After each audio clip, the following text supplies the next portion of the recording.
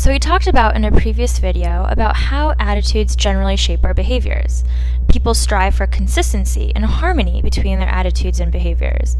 For example, you wouldn't hold the attitude that eating meat is immoral and then still go out to Burger King and have a positive attitude towards eating hamburgers.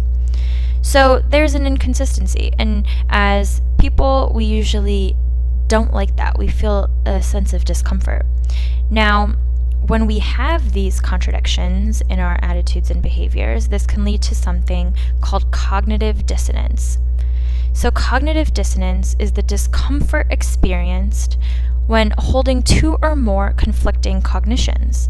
And these cognitions can be ideas, beliefs, values, or emotional reactions. And this feeling of discomfort can lead to alterations in one of our attitudes, in one of our beliefs, or even our behaviors. And the reason we alter or change these cognitions is kind of like a protective mechanism or defense mechanism to reduce the discomfort we feel between inconsistencies. So let's take a look of cognitive dissonance in the eyes of a smoker. Now, pretending we're a smoker, we're going to say, I smoke.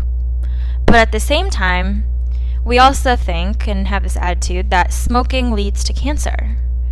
Now, our behavior is we smoke, but our attitude is that smoking leads to cancer. There is a contradiction there. Do you see it? There's an inconsistency. So this is what dissonance is. It, they are are contradictions. And we don't like contradictions. We like balance and harmony, all that good stuff. So when we have these contradictions, we may do four different things to our cognitions to alter um, alter those attitudes in order to reduce that comfort. And the first of these is that we may try to modify one or two of our cognitions. So, in this example of the smoker, the smoker may say, I really don't smoke that much. So, he went or she went from saying, I smoke, to modifying that a little bit and saying, I really don't smoke that much. So there's a little bit of an alteration there in order to reduce the discomfort a person has in their attitude and behavior. The second thing that they might try and do is trivialize. Trivialize, which means making less important.